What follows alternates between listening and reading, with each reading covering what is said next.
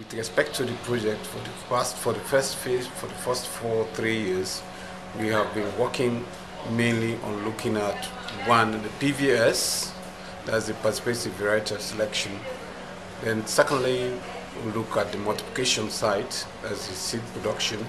And then thirdly, we have the dissemination and capacity building. The PVS, we have conducted three, three years and we made selections.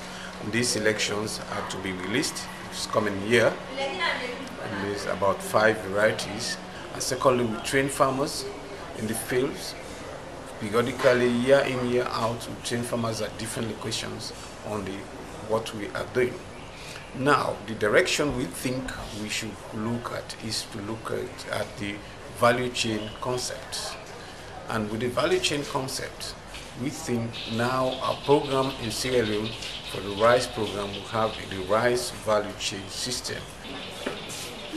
Now, well, basically what we think of doing in terms of production is looking at the millers, the processors, the farmers themselves and members of the the researchers, not only the, looking at the researchers, we look at the food processing value addition aspects of it and all the rest for the second phase. And that is what we intend to look at. The economics impact and all the rest of we have done for the first phase. And the second phase, we may go into the full chain of the value, value chain system. Et donc, euh, ce projet nous a permis d'avoir un certain nombre d'activités sur le terrain en Guinée. Nous avons les PVS, les PVS c'est les parcelles de sélection variétale participative.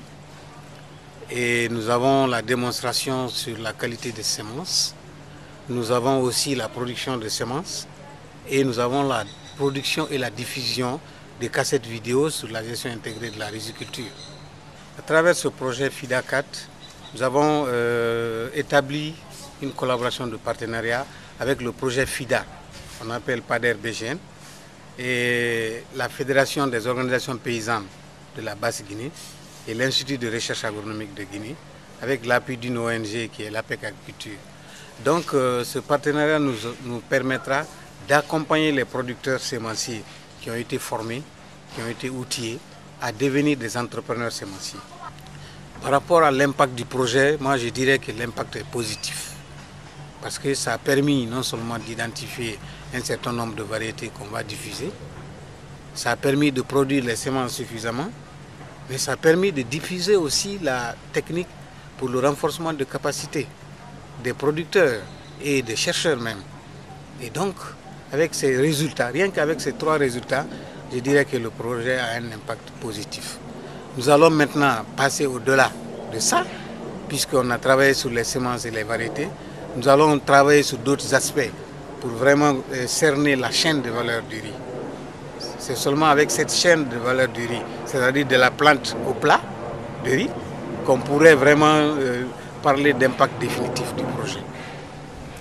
Euh, en fait, euh, les résultats du projet en ce qui concerne notre pays, la République démocratique du Congo, avec l'étude d'impact qu'on a effectuée, on a trouvé que le projet était positif parce qu'en 2008, on a commencé par faire euh, et réaliser une étude de base pour voir à quel niveau on était à ce niveau-là.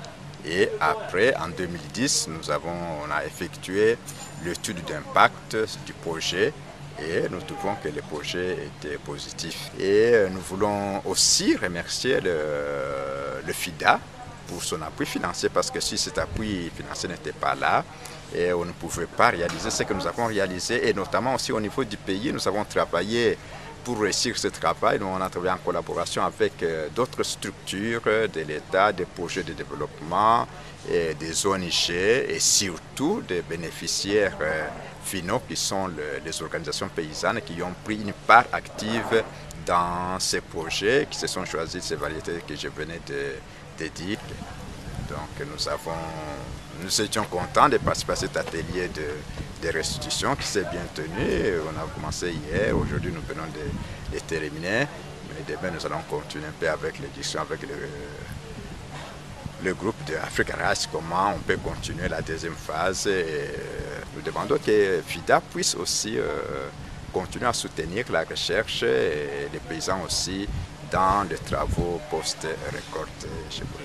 So I would say, uh, well, uh, as a coordinator of this project, I just have now uh, only one year, and the project has been going since 2008. But uh, I've seen that really it was continuing. So what we are saying is uh, the experience is worth uh, repeating, especially if we take the big success story of uh, Guinea. So this experience which is worth uh, repeating, it uh, could be replicated in the same country, in the same three countries involved, which are Guinea, uh, Democratic Republic of Congo, and Sierra Leone, but also try to include other countries where rice production is important. So, and uh, we have also, during this uh, final year, asked uh, all the countries not only to do what we call uh, a final uh, in-country restitution workshop, but also to develop uh, videos which will capture the main success stories of the project.